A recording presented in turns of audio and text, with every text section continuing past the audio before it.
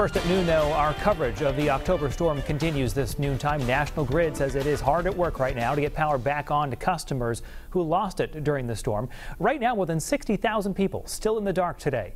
Eyewitness News reporter Steph Machado is working that story. She joins us now live with the latest from the mobile newsroom.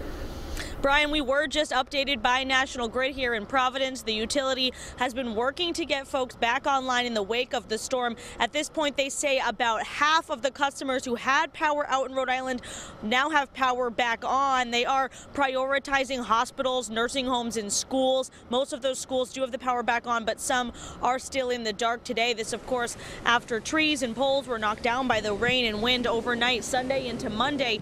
National Grid says they had to wait until the wind subsided to do some of the work they needed to get the power back on. That began at noon yesterday. And a spokesperson tells me they expect to have customers in the cities back on by tomorrow and folks in the more rural areas back on by Thursday. Of course, Halloween is tonight. There is the possibility of some dark neighborhoods and wires still down in some spots. So parents and kids should take caution while trick or treating.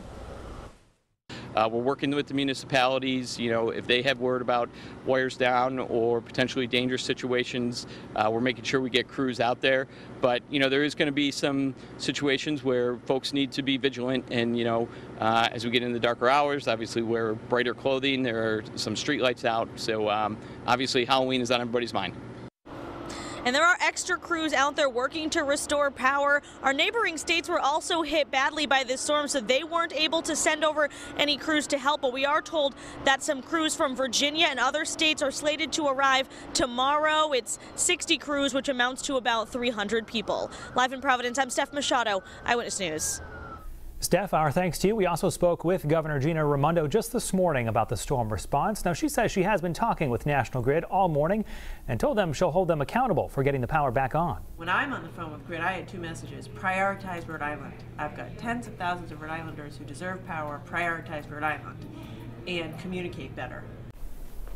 And as we just heard from Steph Machado, the governor says the fact that Massachusetts and Connecticut are also dealing with outages means National Grid can't bring in crews from our neighboring states at least. She says hopefully another 35,000 customers should have their power back on tonight. Now, if you are among those that are still in the dark right now, we have a great resource for you right on our homepage at WPRI.com. Take a look. If you scroll down just a little bit, in fact, there's this one tab that says Power Outages, Map, and Database. Take a look at what happens when you click on that. You can see the entire map of our region. Each one of those dots indicates uh, a section, neighborhoods that are, have uh, reported outages. If you then click on one of those, you can get an estimated timeline of when your power will be back on, and most importantly, if a crew has been assigned to your area of a power outage.